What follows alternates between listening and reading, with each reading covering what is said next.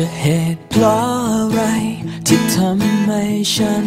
ได้เมย์นะครับเมย์เป็นลูกสาวคนโตนิสัยน่ารัก จบปริญญาตรีที่บัญชีจุฬาจบมาทำงานที่ EY หลังจากนั้นย้ายมาทำงานที่ปตทสพและบริษัทได้ส่งเธอไปทำงานที่ออสเตรเลียเป็นเวลาหนึ่งปี เธอเป็นคนชอบตุ๊กตา อย่างตัวนี้เธอก็ซื้อให้ผมไว้ในรถ ให้คิดถึงช่วงเวลาหนึ่งปีที่เราต้องห่างกัน เป็นคนล่าเริงอารมณ์ดีหัวเราะได้ตลอดเวลา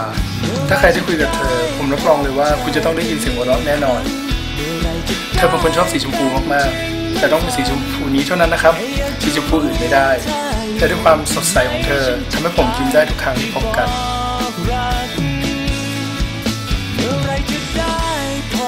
ถ้าจะให้นิยามความเป็นสองเจเหรอคะ อย่างแรกก็ต้องยอมรับว่าเป็นผู้ชายหน้าตาดีคนหนึ่งขาวตี๋ใส่แว่น สนุกสนาน ขี้เล่น มีมุกเสียวๆมาเล่นได้ตลอด สมัยเรียนวิศวะเป็นนักกิจกรรมตัวยงเลยค่ะ อยู่ชมรม robot ดูดาว ถ่ายภาพ พอเรียนต่อโทไฟแนนซ์สอบได้ CFA ก็เลยเปลี่ยน field มาทำงานเกี่ยวกับหุ้นค่ะ ทุกวันนี้ชีวิตก็ปรับตัวขึ้นขึ้นลงลงตามตลาดหุ้น สนุกกับการเล่นเกม มีความสุขกับการพบปะเพื่อนฝูง และรักการท่องเที่ยวไปในที่ต่างๆ จะเรียกว่าเป็นผู้ชายลันลา ก็คงจะไม่ผิดนะคะก็หัวใจมันมีแต่เธอตั้งแต่ตอนนั้นและคิดไปเองบางทีก็ฝันว่ารักกันอยู่ แต่ไม่รู้ว่าเธอเรื่องราวของเรา เริ่มต้นขึ้นจากรูปถ่ายใบนี้ ย้อนกลับไปในปี 2006 หลังจากจบงานซ้อมรับปริญญาของคณะบัญชีจุฬา ผมก็มีโอกาสได้เห็นหน้าเหมยเป็นครั้งแรก ผ่านรูปถ่ายใบนี้ และเพื่อนสนิทของผม ซึ่งเรียนอยู่คณะเดียวกันกับเธอ ก็สัญญาว่าจะหาเบอร์ของผู้หญิงคนนี้มาให้ แต่เรื่องราวมันก็ไม่ได้ง่ายขนาดนั้น เมื่อเพื่อนสนิทของผมต้องไปเรียนต่อที่อเมริกา แล้วก็ยังไม่ได้ให้เบอร์เธอกับผมและผม ก็คิดว่าคงไม่มีโอกาสได้รู้จักกับเธอ แต่โชคชะตาก็ไม่ได้โหดร้ายกับผมขนาดนั้น เมื่อสองปีต่อมาในที่สุดเพื่อนสนิทของผมก็โทรมาจากอเมริกา และให้เบอร์เธอกับผม ผมมีโอกาสได้โทรคุยกับเหมย แต่เธอดูเหมือนจะงานยุ่งมากในช่วงแรกๆผ่านไปถึง 3 เดือน ผมถึงได้มีโอกาสได้นัดเจอเธอ หลังจากนั้นเราก็ได้คุยกันทุกวัน ไปดูหนัง กินข้าว ไปทริปดูดาวด้วยกัน และการเดินทางของเราก็เริ่มต้นขึ้น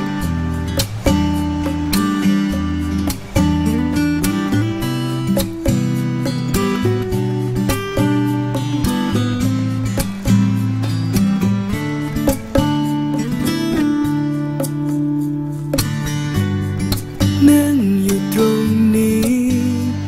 ข้งกายฉันก็มีเธออยู่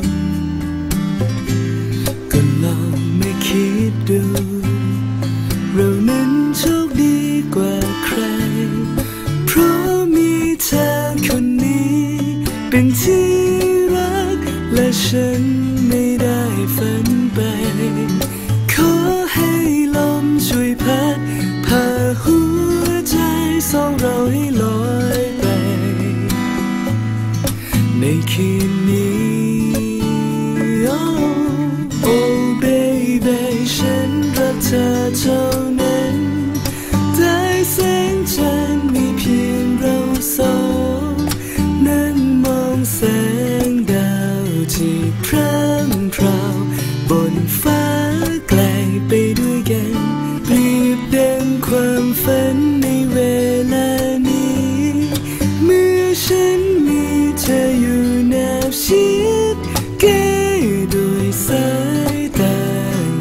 สัมผัสด้วยรักที่เรามีให้กัน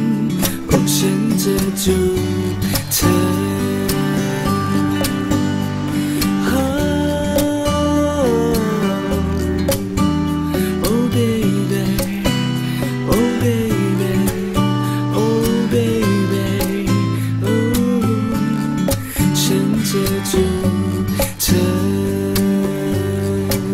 ครับเขาว่ากันว่าสิ่งมหัศจรรย์เกิดขึ้นทุกวันงานแต่งงานในวันนี้ก็นับรวมเป็นหนึ่งในนั้นนะครับ ผมรู้ความรู้สึกยินดีมากที่เอ่อทำให้เส้นทางที่เป็นจุดเริ่มต้นที่ทำให้เส้นทางชีวิตของทั้งคู่นั้นมาบรรจบกัน โดยส่วนตัวแล้วผมเป็นได้รู้จักกับเจดมาตั้งแต่ปหนึ่งแล้วได้เป็นมาเป็นเพื่อนกับเหมยตอนเรียนมหาลัย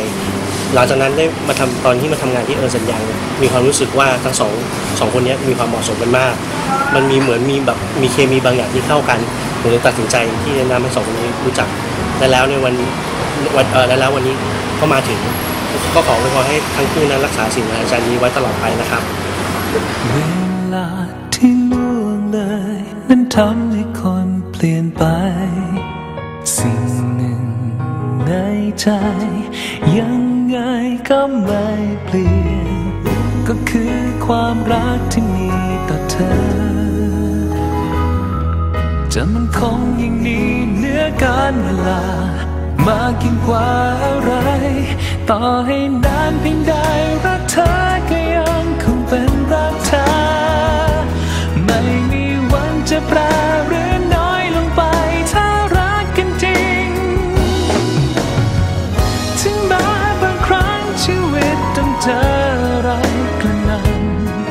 แต่คงไม่เคยทำให้รักเราเปลี่ยนแปลงไป